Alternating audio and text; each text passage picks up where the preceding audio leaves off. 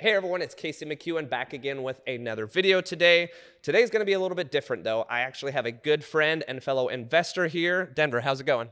Hey everybody, it's going really good. Just ready to talk some real estate today. Absolutely. Appreciate uh, having him come out. We're just going to ask some questions here today with him, kind of give an idea of, you know, what he's been able to do in my local market. We did meet about 4 years ago and he's had a good role of success in real estate. So first things first, just give us a quick uh, synopsis of what's been going on with you? Yeah, so uh, I'm actually from the DFW area, uh, born and raised here. Went to the Marine Corps at 18, and that's kind of where we developed our bond. Is we were both Marines. Um, left the Marine Corps around 23, 24. Um, took some corporate jobs, and I started to get into corporate, or excuse me, real estate, just investing in, in general.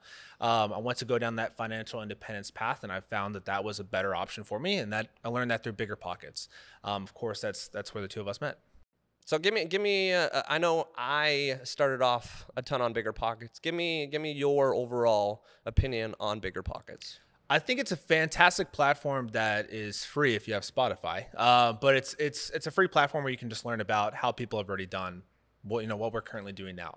Um, it's not rocket science. It's not reinventing the wheel. It's just a platform that allows us to just see literal examples out there and learn from that. Um, and I took a lot of examples just from podcasts, re- reading some of the forums online and some of the books. Um, and of course, that's where the, the, forums is where you and I met as far as connecting about now I want to begin this journey in the DFW market. Yeah, so for folks that haven't checked it out, this is just a huge shout out to Bigger Pockets. Actually, where we're filming this uh, is the good friend of mine, Tyler, the owner of NXT Mortgage, which is a local mortgage company here in Dallas, Texas we actually met and have become best friends from Bigger Pockets. It's been a great place for me to network with other like minded individuals, such as Denver here as well. And with Denver, we met off Bigger Pockets. What was the uh, what was the first thing that we started getting into after we met at Bigger Pockets? Uh, well, I think I think we first started talking about my interest in looking for a duplex. I wanted to really follow the the multifamily path um, I think you started to line me up because I'd already been working with one agent that just wasn't really investor friendly. Um, was more looking to sell somebody on their next, you know, home forever. Um, and we connected just because I've already seen on the post that you know you already understand rental properties, you have a few of your own, and then you're marketing toward those veterans in the area. Um, and I felt comfortable working with you. Um, so I think probably two or three weeks after we first connected online is when we met in person. We started looking at actual duplexes when I was ready to go in the market. Um, and like you mentioned with Tyler, you know, you lined me up with him, another veteran in the, in the same industry, um, and he worked pretty pretty quick and diligently to get me pre-approved and get me set up and, and rolling. Yeah. So in terms of that first deal, now most people they're trying to, and this is actually the route that I think I initially went with you on at least that I can recall about four years ago, three and a half, four years ago. I think initially we were looking potentially for a property for yourself, but what was that first property we wound up finding? Yeah, so uh, first property, and, and I was looking to house hack my first property. Um, I think when we were looking around, there just wasn't the right property because I wanted something a little bit more upscale and living in the Dallas area. I felt very comfortable in that that environment, and we just couldn't find that one immediately. Um, however, I did have the capital um, saved up for my first investment property that was 25% down payment, not owner occupied. Um, so I didn't live in the first one, but the first deal uh, we found, I believe off Zillow, it just randomly popped up and I think they, they listed it wrong as well. We caught them. Um, and I believe it was a, it's a, it's a duplex, two bed, one bath, both sides, um, listed for 205. Luckily, we had it appraised at 264, so immediate equity there, nearly $60,000. Um, and it's over in the Oak Cliff area of Dallas. And it, it's a growing area that's been around for quite a long time, and it's going through its own changes as far as improving in the right direction. Um, but it, it quickly, um, we got it under contract pretty quickly, and it, I think I did maybe two or three grand worth of renovation work. I mean, it was turnkey as, as it really comes. Um, and like I said, that was that was the first real avenue, but it wasn't an owner occupied house hack. Um, so it wasn't the strategy we wanted to start with, but it was the one that came to me with the best opportunity to, for the best return. Yeah, so for most people, obviously every single market's going to differ. But if you're familiar with the Dallas market, $200,000 for a duplex or $100,000 a door is very, very cheap. I would say almost that's that's not attainable in our market anymore. Now, this actual duplex, as Ian mentioned, it was listed incorrectly. So a lot of agents, if they aren't experienced, they'll list a full duplex as a half duplex, which most people, when they're searching for duplexes, they're searching for multifamilies. Well, a half duplex is indeed not a multifamily property. So you actually were the person that brought it up because it didn't fit in the criteria search that I was sending you. You said, "Hey, is this an actual full duplex?" We went out, took a look. It was a actual owner sitting there doing all the work himself. Okay, so if any issues that we did have, he would directly fix them himself. We then found out it was a full duplex. We're able to get it under contract, and like you said, tremendous equity from day one. Yeah, yeah, and I really couldn't ask for a better deal. Um, and, and I believe we closed on that in uh, summer of 2018. Uh, so I've been in the game for about three years, um, and and luckily since then it's been a fantastic cash flowing property. Um, many people probably know the one percent rule, which is really tough to get now in the Dallas market. Um, like like you said, we you know closed at 205, it appraised at 264. It's probably worth a little bit more than that right now, uh, but rents are bringing in just over 2,300 a month, and it is consistently renting out. People like it, um, so it's been a cash flowing machine. So give me just for the viewers here, give me an idea of what your if you can recall off the top of your head. What's your mortgage payment? And you said it brings in about twenty three hundred dollars a month, correct? Yeah, it brings in twenty three hundred a month. Uh, initial mortgage payment, I believe, was twelve forty. Um, and I dropped that down. I, I refinanced here with uh, with Tyler and NXT Mortgage. I dropped that down to just over eleven hundred, and I did that through the COVID refinance process. Is uh, of course getting a cheaper interest rate. Um, property management on that right now is seventy nine a door, which is really important for me as, as a passive investor. I don't want to be so involved. Um, for the last five years, I've had a pretty hectic corporate job, and I just didn't have the time to manage both properties and my actual W two job.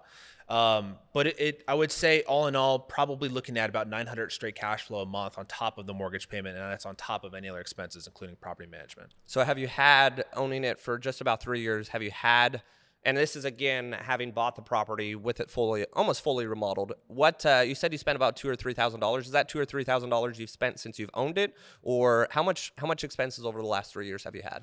Yeah, great question. Um, I'd probably say the two thousand dollars, two or three thousand up front was literally just cleanup work. Um, you know, installing some little vanities and mirrors, and nothing, nothing too crazy. Some initial contractor repairs and stuff. Um, since owning that over about three years, I've probably spent another $3,000, very minimal things. Um, we're talking like, you know, cutting down large trees that were hanging over the house, um, you know, small roof leak, and I believe um, the the electric gate just had a, had an issue, right? Nothing, nothing too crazy, and, and luckily um, through Bigger Pockets and you know what we've talked about, like I, I budgeted initially before going into buying this rental property for 10% for vacancy, 10% for repairs, 10% for capex, and I've never touched those budgets at all. Um, so luckily, it's it's been a very sturdy property, and um, over the last three years, I've had one tenant on one side for the entire length of that term, and then one tenant had moved out, and I got it rented back out within two weeks. So you're you're looking north of ten thousand dollars a year in cash flow, and you're spending what looks to be about a thousand. So I mean, you're still profiting ninety percent after your expenses and and what would otherwise be the rest of your expenses as well, which is pretty good for a, a first time investment. So, give me a little idea though. I know I personally helped him purchase that property, and we've been continuing to do so as well. Tell us a little bit about your second property and how that worked out. Yeah, so second property was a was a very fun and interesting property. Uh, we actually put the offer in on that property the day that we were closing on the last property that we just discussed. Um, so very back to back. But um, what happened is I, I, was, of course, like any other real estate investor, just scrolling through MLS, uh, the emails that I'm getting from you, Redfin, and I actually caught on the last day of a vacation in Cancun um, this property in Knox Henderson part of Dallas. Uh, very upscale neighborhood, kind of hip, trendy vibe, and it's a place where I want to live. Um, it was a 1936 duplex, $430,000, and it needed a good amount of work. Um, the reason I felt comfortable with this property is, is location was right in front of a park. You just can't get that anymore in Dallas, and I know that's a pretty rare commodity to have. Um, and then the second thing is I knew that a lot of the renovations that would go into this is something I could personally do myself. Um, so part of the house hack pro- process, excuse me, the house hacking process is kind of putting in your own sweat equity. So what I mean by that is like I can paint walls, I can re, you know, I can install some basic electrical things, I can fix it up on my own and not have to pay contractors. So I get a better rate on my return there. Um, so with the second property uh, off of, off of Mission in, in Knox Henderson, um, like I said, it was four hundred thirty thousand dollars. I used the FHA loan, so my first primary home, you know, loan. So um, let, let me just stop yeah. there because we have a ton of veterans that actually watch. And again, thank you guys for subscribing to my channel.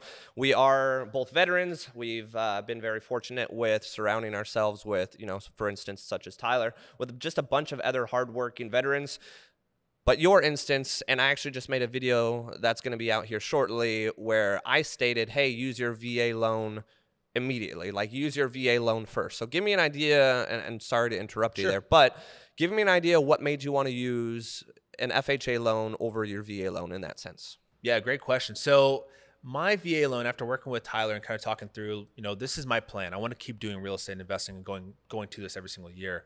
Um, my plan was to use the VA loan on a larger property. Um, while four hundred thirty thousand dollar property duplex in Dallas is a pretty large property, I was aiming for the next property to be an even bigger duplex, triplex, or quadplex. Even though they're very rare, maybe I could hit you know the lottery and actually find one of those. Um, and and we'll talk about my most recent deal where I did use the VA home loan, but I used that on a much larger property that would have just been a little bit more difficult to have that initial cash up front if I want to do those renovations. Um, so that's why I pulled the trigger on doing the FHA loan now when I knew I had the cash in hand, I didn't have any problems with funding, and I could save that VA loan for a better property down the road. Yeah, so I actually, you know, I, I talk about it a lot in other videos. I tell people to fully leverage your VA loan. Unfortunately, I wasn't as educated when I was doing it myself. I bought my duplex for about $280,000, so I didn't fully leverage my VA loan the initial time. Then I used it again and went over my VA loan limit, which then had to bring cash to close and it was a little unexpected at that time not being educated but in your sense you said you fully utilized your VA loan for your next purchase Yeah, yeah, that's right. Um, and and so just like building off of the first purchase, you know, with the FHA, it's still a fantastic tool for anybody that isn't a veteran. Um, of course, three point five percent down. I, I believe I closed for maybe fourteen thousand dollars on a four hundred thirty thousand dollar duplex. Um, over the course of you know just focusing on that one property. Um, about uh, uh, over the next year, maybe year and a half, I lived in that property the entire time. Um, rented out my side uh, once I left the property. But the, the big thing here is, is that I took my time focusing my own cash flow onto reinvesting it into that property. So the, the earnings I had from Mount Royal, the earnings that I had from my W two job, and by mount royal that's your Oh, my, my first, prop- duplex. Yeah. So uh, from my first duplex, the cash flow there, and then my W 2 job, I would be funneling that into uh, the new Mission Avenue property. And I did that over the course of about a year, put about $70,000 of equity into the home. And that's just renovating what needs to be done, right? The kitchens, the bathrooms, making sure that the property is energy efficient and it's safe for, for future tenants. Um, and once I was pretty comfortable with that. And to clarify, one side was an Airbnb, so I also did furnishings there, and we could talk more about that. Um, and the other side was just a plan long-term rental. Once I felt comfortable that that property was stable, that's when I re-entered the market to say I'm ready to use my VA loan. So give me give me a quick idea. You mentioned Airbnb for the folks that you know. Obviously, his first rental, long term rental, long term tenants. Um, this was your second purchase. It was something that you occupied, and you said you Airbnb'd the other side. How'd that go? Uh, it went good. It's it's a it's a big learning experience because you jump into the hospitality market. Um, with Airbnb, it's it's very it's a very dynamic market. You, things are always shifting. Of course, we saw that over COVID when I lost. I can probably say nine to 10 weeks of automatic bookings. Um, they just all dropped off. Luckily, they got rebooked up. But with Airbnb, the storytell the storytelling changes when it when it comes down to I have to furnish the property. I have to make sure that people are comfortable in the property in, in the first place. Uh, people aren't partying in the property. So there's a lot of different rules set up.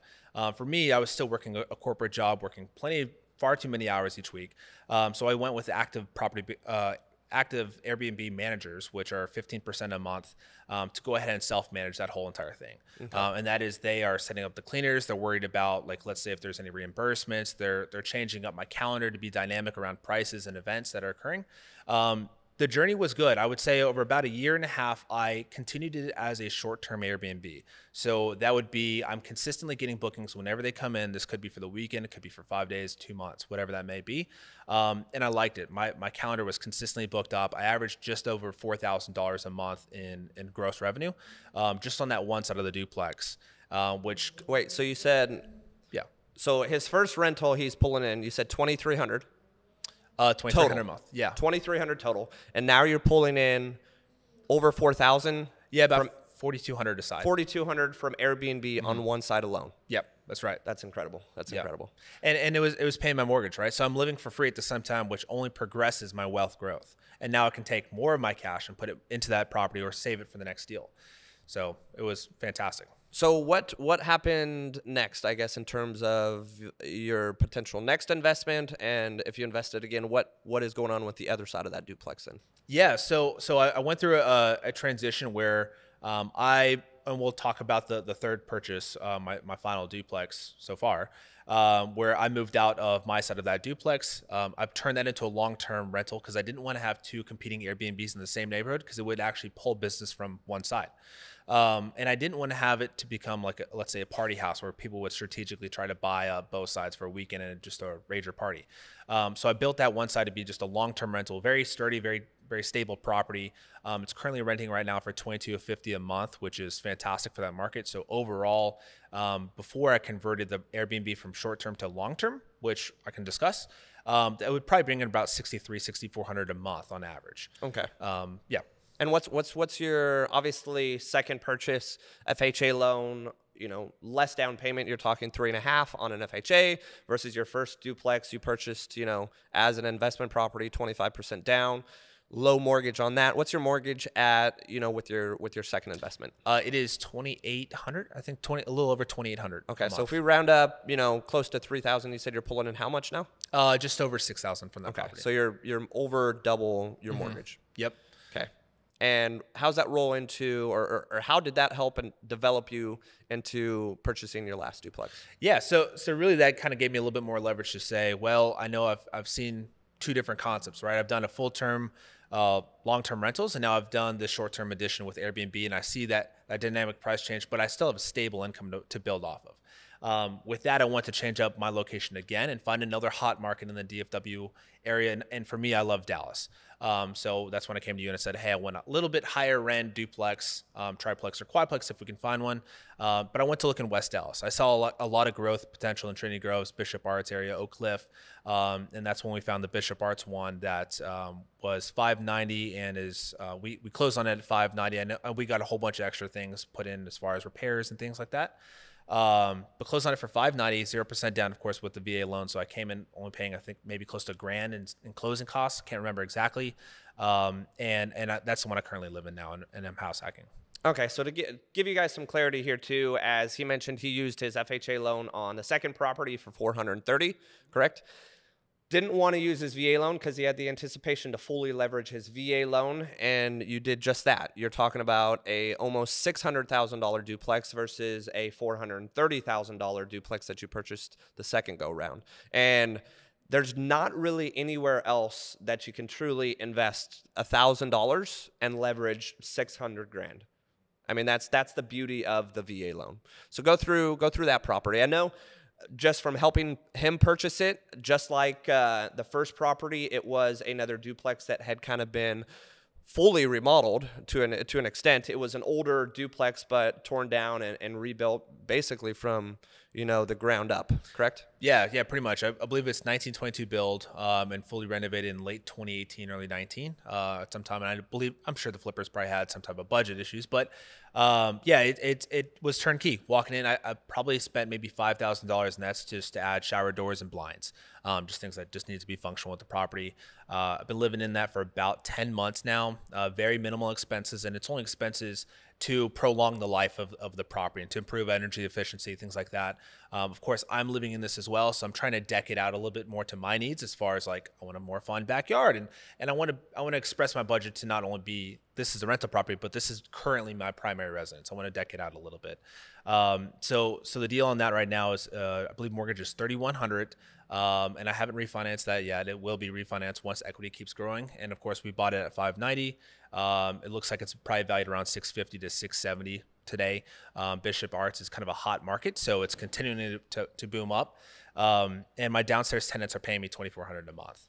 Um, right now, I have uh, I do have a roommate. Um, sometimes we're working out agreements, and he's going to be a future real estate investor. But uh, I'll be rotating in new it more new roommates to help kind of offset that mortgage cost. So right now, living in essentially what would be otherwise a, a brand new duplex, um, Granted, it's you know 1920s build, but it's been remodeled. Mm-hmm. You said downstairs is bringing in 2400. 2400, and how much would you say an average roommate's going to be spending there? I'd probably say 800. Is okay, so fair. you're you're talking 3200, and your mortgage is 31. Okay, so as is just the duplex, and again, everyone that's watching this is obviously in a different market. We do have some subscribers locally in the Dallas Fort Worth market, but he's essentially living and fully leveraging his VA loan, putting $1,000 down and living for free in one of the hottest areas in downtown Dallas. Mm-hmm. Yeah, and and I would say like that's only pro- progressing me to, to grow further, right? So like the last three years, I've pretty much been living for free. While of course we know with real estate, there's four different forms of like growing your actual wealth, right? You have the appreciation on property, depreciation for taxes. You have your cash flow, and then of course you have your equity growth. And my tenants are paying the equity growth, so it's unrealized as, as far as wealth generators for me. I don't feel it right now, but I know down the road when I retire and if, if I want to sell the house or if I don't have a mortgage anymore, the cash flow is going to be ridiculous. Um, you know, each one of those is its own retirement fund on its own. So if it and and not to point at Dave Ramsey, but the snowball effect is now occurring, right? Where I can see one property is now helping me grow a second one faster, and then a third faster, and fourth and fifth. Um, so that's the plan. Yeah, and that's I mean I've discussed it before too. I think the biggest hurdle for a lot of people is is that first property.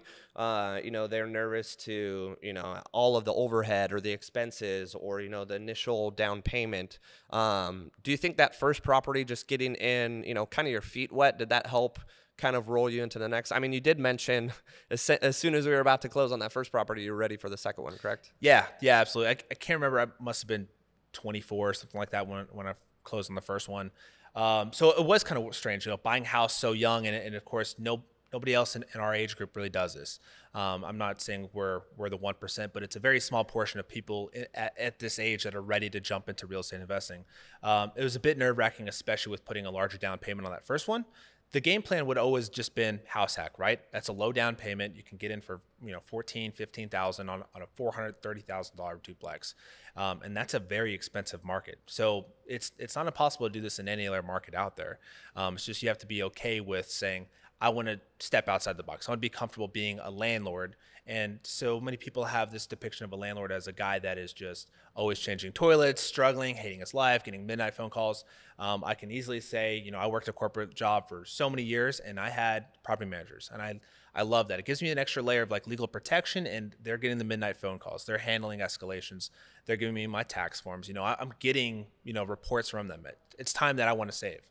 Um, and that's kind of the whole goal with this is I'm, I'm, aiming for financial independence, right? So I want my time back. I don't want to be stuck to doing a job forever. So I'd like my time back, and property managers help me do that.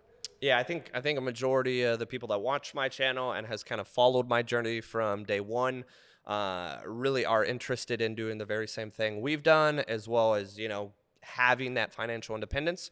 I was able to leave my corporate job way sooner than I ever thought because of my real estate career kind of taking off. I heard that uh, you've kind of made a decision here recently. Give me uh, give me some insight on that. Yeah, yeah. Um, some people may know, but uh, yeah, I work I worked for uh, a very large corporation for five years um, one that rewarded me very handsomely with, you know, of course, um, education, growth, you know, diversity to, to, really push myself and learn more things, and of course, fantastic compensation. Um, and it's not something I took lightly, but um, about three weeks ago, I left that job. Um, after after five years, and I left it knowing that this was a job that could have provided me plenty of wealth in my life, but I wasn't ready to sacrifice 60-hour work weeks every single week for the rest of my life. Um, it was it was stressful, it was fast paced, but it was a good learning opportunity. But because of real estate, it's allowed me to do this transition to where now I can leave my my corporate job and pr- go pursue my passions, whatever that is, because I have steady cash flow now. Um, it's and it's predictable cash flow, and it's also helped me out because now three years into this journey of real estate investing, all of my savings for every single property is already capped out, right? So, like we talked about with the budgeting for vacancy, capex, repairs, I'm already at those those limits. I don't need to budget anymore for that. So that's just additional cash flow that's onto me. Um, so it, it's it's pretty much allowed real estate investing has allowed me to kind of quit my job and, and go do what I want. I love that. I love that. I mean, that's that's rewind four years ago, I guess five years ago when I when I first technically got on Bigger Pockets, and uh, it was a good friend of mine uh, back in high school that I really disconnected with, but then reconnected with gosh, it was six or eight years, probably six, seven years after high school. And uh, I realized that he was doing pretty well in life in real estate, but I didn't understand. So he, he threw out the uh, good old Rich Dad Poor Dad book. Uh, so I went ahead and read my first book in 10 years. And then I also got told about Bigger Pockets, which you know we we both know very much about. But at the end of the day, I was able to buy my duplex just, you know, just similar to, you know, you buying your three. I bought my duplex and then bought my single family, rented out the rooms in my single family house and I was cash flowing on my duplex and I was not paying my mortgage on my single family. And unfortunately, as a high school teacher, there wasn't a ton of money for me to have to make up. So I left my corporate job way quicker than, you know, obviously you left your corporate job. But here we are, you know, sitting somewhere of 2020. I'm sure we'll be able to look back at this video and and and laugh in a sense because you know you having just left your corporate job, but it's it's looking back myself, you know, three years ago when I left my corporate job, I could never imagined, you know, being here today. So I'm excited to to see what you're going to look back and see yourself. But to to jump on to some other questions for you, because I know I personally have dealt, you know, with a, a handful myself, and I personally. I've not gotten to the point where I've hired property management. Um, I'm at that point now, so Yeah. anything moving forward, I definitely will. But in your sense, you're not dealing directly with tenants. Your property management company is dealing directly with tenants, correct? Yeah, that's correct. It, Okay. And that even applies to the tenants that are actually living underneath me right now, my current duplex. Um, and it's not because I don't want to interact with tenants, but it's because there should be a sense of a layer between you and the actual tenant. And that could be for any specific reasons, as far as like legal issues that could occur down the road, or just you don't want to get bothered with with consistent complaints or issues. For example, like let's let's just say like my my tenant always went to come to me with a question or concern or a recommendation about the property. Hey, I think you should upgrade these lights. I think you should add a fireplace. I think you should do whatever. Right? Well, those are great suggestions, but I don't want to hear them all the time. And feel free to escalate that to your property manager. Same thing with like requests. Like the property management to- company can actually es- escalate and expedite any type of repair needed much faster than I can, especially if I, let's say, I'm traveling or enjoying my time or whatever that may be. Um, so I found that as a, a very useful tool, and it's yes, it's a cost, but it's a cost that I think is has been very valuable for me in this industry. So have you? I mean, in my case, it would be obviously handling it myself. But have you had your property management company reaching out to you saying, "Hey, this is an issue or that's an issue"? Like, what's what's your craziest tenant story? Do you have anything wild? Uh, I probably have a few wild things. Um, And are these are these going to be more Airbnb wild or are these going to be long term rentals? uh, these are going to be more Airbnb wild. Okay, so caveat here, guys: don't buy Airbnbs. Yeah. I own one Airbnb. Obviously, if you watch my videos, it's in my own house, but it's just a bedroom and a bathroom. You own a full out, I could say half duplex. It's a full Right. house. So let's let's hear one. Yeah, um, I'll, I'll give you the latest one uh, off the presses. So um, I actually switched up my Airbnb strategies to go from short term to long term. And what I mean by that is, is bookings over 30 days. Um, the reason why I did that is because I found that active management, of course, costing me 15% for property managers was a pretty high expense, but also at the same time, I have to pay the city of Dallas 7% for hotel occupancy tax. So right off the bat, I said, well, I don't want to have to pay 22 additional percent points on top of my revenue, right? Um, so I cut all that out, and I'm only doing long-term bookings now. Well, I started that back. So in, so just quick question there. In terms of short term versus long term rentals, obviously every city is going to be different, but you said you have to pay seven percent tax to the city of Dallas. yes, Is there a caveat there where if someone stays a certain amount of days where you no longer have to pay that? What's Yeah. the what's the stipulation there? it, it's under 30 days. So, for example, if, if a normal Airbnb is operating and that's typically going to be booking up, you know, Thursday through Sunday kind of things, um, any booking under 30 days is going to have to pay 7% hotel occupancy tax. I believe that's also on top of cleaning fees too, uh, which is a pretty large you know percentage point of, of our overall revenue here.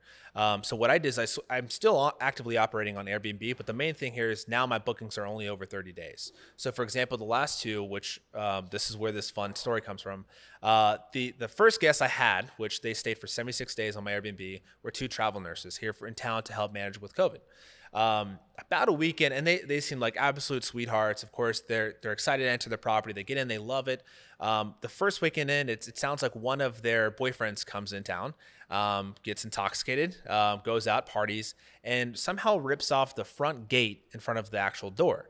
Um, completely rips it off. It's on the ground. The, apparently, the cops were called because it was, you know, he was drunk and disorderly and screaming in the in the streets and stuff like that.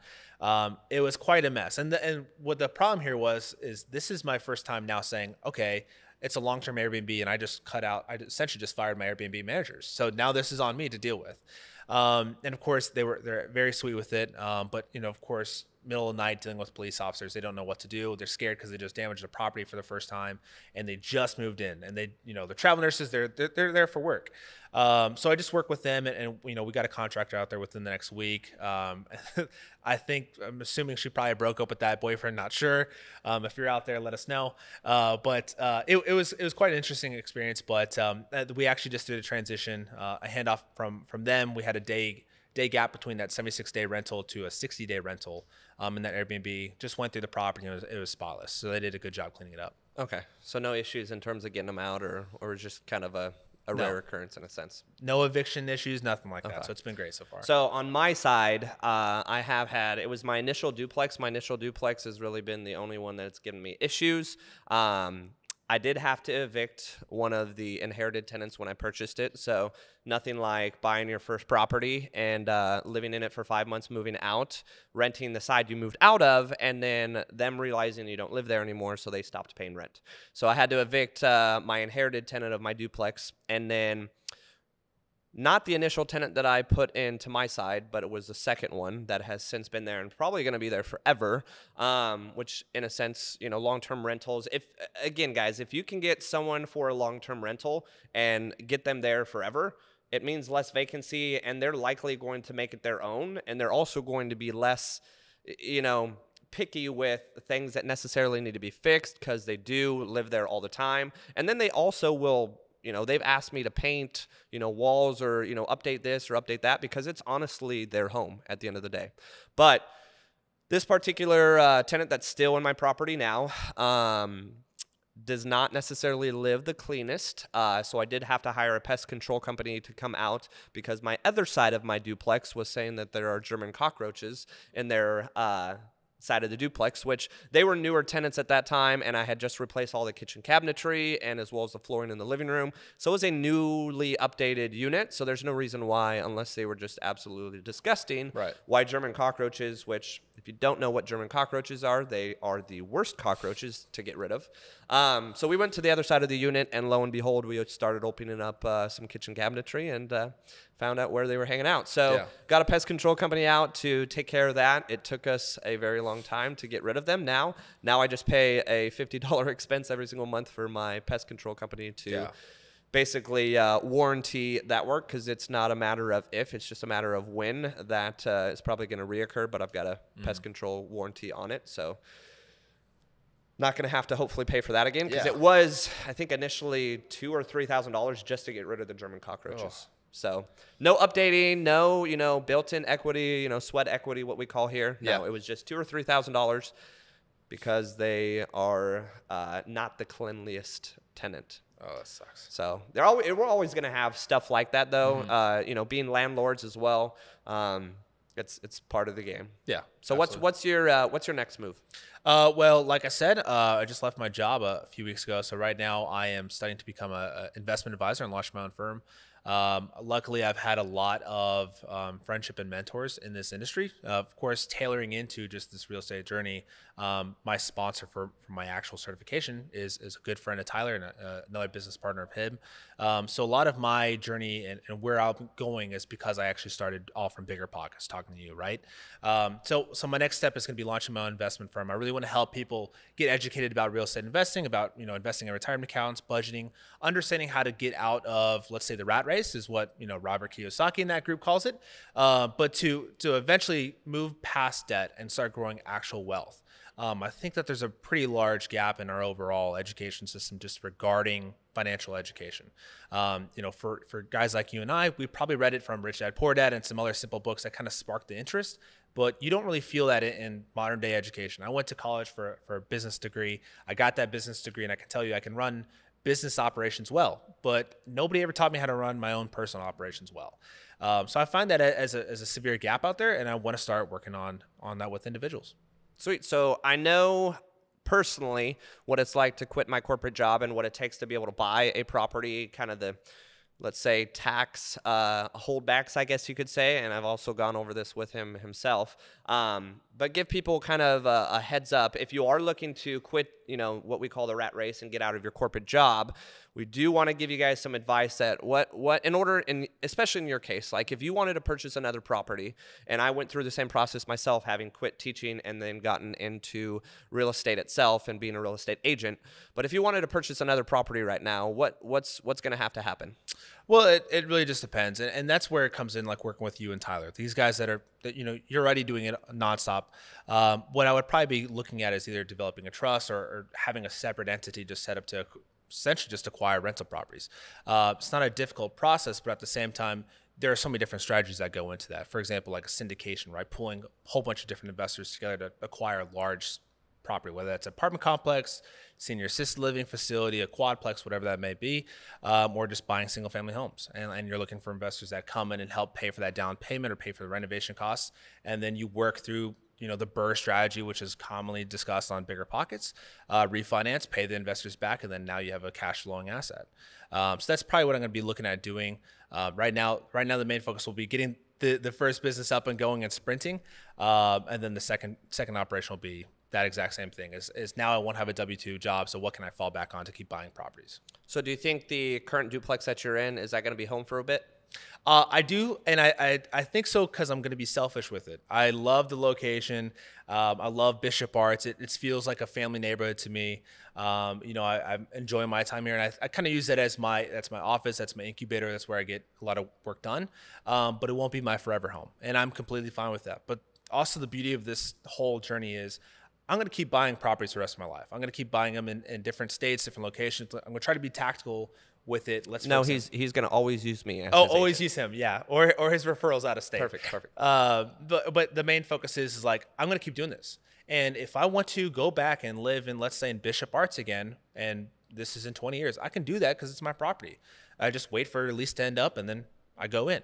Um, so I'm gonna be selfish with this one. Um, you know, I've done I've done three large duplexes. I think total value or equity worth it is about 1.45 million right now um, in, in three years. I'm, I'm doing pretty well, but I want to keep progressing forward. Um, doesn't mean I have to sprint. So like I want to I want to focus on buying the right properties at the right time during the right market cycle. Um, of course, it just depends, and, and of course using the right agents to help track them down. Uh, but uh, I'll, I probably I'm, my goal right now is I'm, I'm 28. I just turned 28. But by the time I'm 30, I have seven total duplexes. Um, so 14 units, and I'm working on an ADU right now. So I'm going to try to get that goal up to 15. Uh, so it's just another small strategy that I have. But I want to keep progressing in that cycle. I do think it is the strongest form of wealth, you know, growth, um, and that's coming from me as a guy that's going to be an investment advisor. Perfect, perfect. So one other thing here with with regard to you and your success. Okay, what would you if you could go back and change anything? Would there be anything that you would change or do differently? Oh, phew. I would probably, I wish I would have picked up Rich Dad Poor Dad when I was like 16, 17, 18. Yeah, and also another thing here too, guys. Regardless of what your age is, you know, I don't honestly know what a majority of the folks that are subscribed to my channel are in terms of their age. I started real estate at the age of, I, bet, I guess I picked up uh, Rich Dad Poor Dad at 26, 27. Um, started, I think I purchased my first property at 27. You said you purchased yours at 24. Yeah. Yeah, so I mean, he was three years ahead of me. Technically, you're what 20, 28. 28 right now. I had one property at that time, and you have three duplexes. Everyone's path in this journey is going to be different. You could be 35, 40, 45, you know, single, married, couple, regardless what your situation is. The biggest issue, as I mentioned earlier, is people just don't get started, right? And the level of sacrifice, I think, is something that keeps people from wanting to take that jump, right? And in a sense, your first property wasn't necessarily a sacrifice because you weren't living in it, but everyone's going to have to sacrifice if you're going to want to purchase and live in specifically you know investment opportunities. Like my duplex i lived in and i rented out the other side and i also rented out my roommates or my rooms for roommates. You rented out your side you know you rented out the other side of your duplex. You have a roommate now. There's going to be some level of sacrifice. I think at the end of the day your level of success or how much you bring back is going to be truly dependent on the amount that you do sacrifice. Yeah. but in terms of uh, going back, you just wish that you would have, uh, you know, picked up that book just a little bit earlier. Yeah, I, wish I would have because, of course, growing up, we, we think there's so many different norms that, that tell us how to become rich and wealthy, right? They tell us, hey, put your money in a savings account. Well, there's no, you're not going to make any interest in a savings account. Um, go buy a go buy a home. That's going to be your best wealth generator, right? And that's what all of our parents are saying. Like, hey, I have a, I have this nice home. This is you know this is where a whole bunch of our wealth is. Well, a home that you are personally paying your own money into every single year for 30 years of the life of that mortgage, that's a liability. You know, at the same time, like you are the one that's funding that mortgage. You're paying for the interest. You're paying for the maintenance, the repairs, the capex, everything like that. That's that's a that's a liability, and that's really what Rich Dad uh, Rich Dad Poor Dad taught me. That kind of opened my eyes to say, oh crap, I didn't I didn't know that that was an actual liability. How do I find assets? Um, and then started focusing on well, like in Rich Dad Poor Dad, of course, that if I could read this at age 18, that'd be great. But start identifying what passive streams of income look like. Start investing into streams of income. Um, I think that would be that would be a big big ticket for me. And I think something else that we probably both got that the you know the average individual won't is we're both in the Marines, and that whether that's any any branch of service. Um, I think No, that- it's just Marines. just Marines. Maybe maybe it is just Marines. I, I think they do a great job teaching discipline to young men and women super early on in their lives. Um, and it's just with that, it kind of brings you to the next step of, of your career, whether that's continuing in the military or or doing whatever. Um, but it brings discipline to a sense that like I'm now focused on what my goals are. I want to continue to, to focus on my passions. I'm not going to let anything get in my way, and I'm going to stay dis- disciplined to you know who I am and, and my beliefs. Um, for me, I think that that was that was something that really helped me kind of grow, especially as I went through college. I started my corporate career, and then I learned about real estate investing. As I said, okay, this is a journey that makes sense. I understand the numbers. Let's follow it. Like I'm not gonna I'm not gonna back out or keep pandering and getting into the market and, and you know working with an agent for a few weeks and then pulling back out because I'm scared about it. It's time to just jump in. And because I jumped in, I'm now able to escape the corporate structure, the W two nine to five, and uh, and do what I want. Yeah, and I'm gonna give a, a quick shout out here just to let's see if he actually watches this entire video to the end. But just to give you guys an example, that I mean, there's really no there's never going to be it's too early or I'm too young. Just to give you guys an example, I used to be again a high school teacher in San Antonio, Texas. I had uh, a good athlete at the time. His name was Alex Saylor. He also follows me on Instagram and watches my YouTube videos. He has since obviously aged four years, four or five years since I was teaching in San Antonio, but he was a wrestler at the school. At the time, I really had no knowledge and understanding of real estate at all. I mean, I remember it may have been him or someone else on the team giving me crap because me as a coach was sitting in the bleachers reading Rich Dad Poor Dad. I mean, that's where honestly at a wrestling tournament on a Saturday, that's where it all began. And now, fast forward, you know, the five years it has been. He's obviously obviously graduated high school. He just got commissioned, I believe, uh, in the Air Force. He's going to be stationed out in California. He has read Rich Dad Poor Dad you know, in college and, and, wanted to, he's followed me on Instagram and wanted to kind of do what I've been able to do. And he's already asking me or has asked me recently about, you know, potentially purchasing some kind of property, you know, at the age of 22, just fresh out of college. Yeah. So, on the flip side, I think our society kind of pushes us to have that, you know, white picket fence. You know, hey, my first house that I have, I need to love. It needs to be something I'm going to call home for the rest of my life. I was never going to call a duplex in a in a lower income area of our metroplex home. But I called it home for 5 months and then moved out. But we get pushed so much like, hey, this is a life we need to live.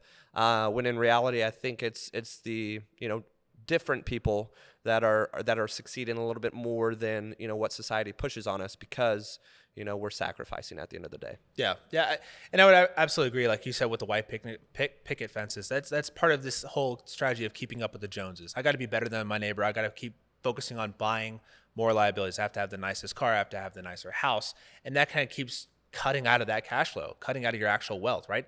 And you won't have the opportunity to keep jumping into real estate if if you keep focusing on, well, am I, is my appearance better than somebody else's? Um, but what I will say is the amount of focus and effort that comes from, you know, being in real estate, it, there's a, you need to be actively involved. Like this isn't something that's just gonna you're, you're gonna set in forget it kind of thing. You always need to be kind of keeping up with the property and the health of the property, whether you have property managers or not. Um, but I can say if and most people probably watching this video are either interested in real estate investing or have already done it.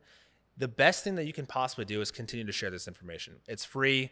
Talk to any one of us about it. We'd love to talk more. But there's books online. There's podcasts that you can watch for free. Like this is this is such a new way of growing wealth that previously people just thought, you know, okay, just some old guy in a corner is a landlord and he's grumpy all the time, right? Well, I'm, I'm 28 and I'm a landlord and I'm not grumpy. I'm, I'm happy, right? This is giving me opportunity. Um, but the best thing you can do is honestly share this content, you know, like discuss this with your friends, your peers, your neighbors, your parents. Um, I've had the ability to, to have these conversations and in the last two, two years. I think I have three people that have gone to you and are now buying or have already bought duplexes, and I have plenty more coming down that pipeline because they're preparing their wealth. Um, they see what these success stories look like. Yeah, and and as you mentioned earlier about the current duplex he's living in right now, I'm actually in the works to help your roommate out now. Which did he have any knowledge about any of this stuff before meeting you, or where where did all that come from from him? Uh, yeah, I, I think I think he knew it was out there, um, but uh, it it really came down to us sitting down and, and you know living together and explaining what these numbers look like. Um, and and shout out to, to Johnson. Um, he's been a great friend and ally to me, but he's been there with me on this journey over the last ten months. So he's seeing the active management that goes into a current property. He's been to my other properties. He's actually helped me work on the Airbnb at my last property. Um, we go through these numbers together. I've, I've taught him the ex- exact equations and the way to analyze a good rental versus a not good rental. Um, and now he's in the market. He's hunting these things down. He's excited and he's showing me his spreadsheets and he's saying, "Does this work? Does this not work?" And now he's getting the the the understanding to say, yeah, I'm ready to go. I, I feel like this is a good property. Let's make an offer. Going to you and say, hey, pull the trigger. Of course, it's a tough market right now, um, but it, it's something that I I don't believe that he would have just picked up on his own. Nothing against you, Johnson, uh, but the fact that it is we just had that incubator, um, and we have a few other people too that are outside of the state of Texas and couldn't use you, but are also already moving into their first duplexes because of these conversations. Yeah, and it, it it all goes back to surrounding yourself with the right kind of people. I think I just let a video out. I think it was two videos ago. One of the the biggest things that I've learned from owning my own business, not being a business professional, was uh, you know truly surrounding yourself with great people, other like-minded individuals that are going to push you to constantly be better.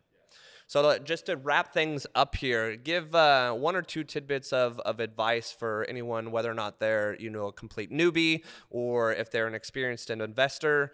You know they've been doing this for a decade or two. Like, what would your best advice, you know, moving forward for people out there watching? Yeah, I would say if if you're an experienced investor, whether that is you know you have one single family rental or multiple you know quadplexes, whatever that may be, share your content, like sh- share your information, talk to other people about it. Be okay, not in a sense of like I'm trying to brag, but share your wealth because you know for a fact that this form of wealth creation works.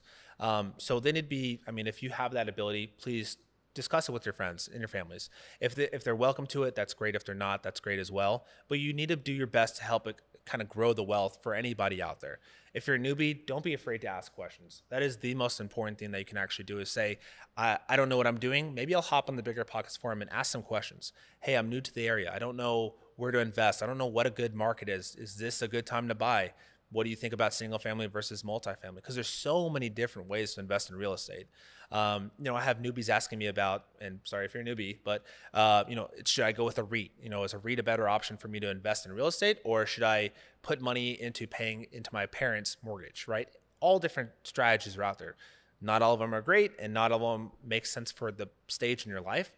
But if you're new to this, you have to ask questions. Don't be afraid to to stand up and say, "I don't understand something," or or call up somebody, including myself, if you even if you never met me, but ask the question to say, "Hey, where should I get started? Who should I talk to? What should I read?"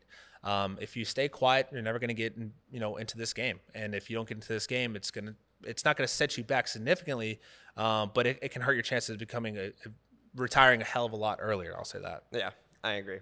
So I appreciate uh, having you on the channel and here for the interview today. Hopefully, I'll uh, be able to bring some more folks out for uh, more content like this. If you guys do have any questions, whether it be for me or Denver specifically, leave them down in the comment section below.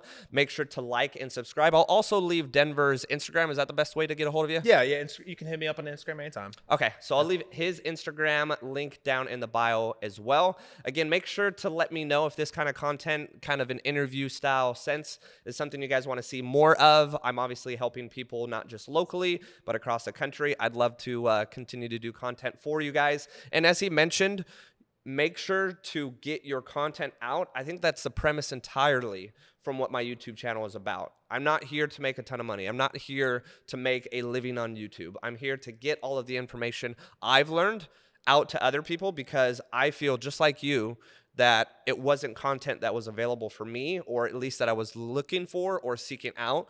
So I'm going to do my best by continuing to upload content for you guys on my YouTube channel so I can further educate you guys as much as I can.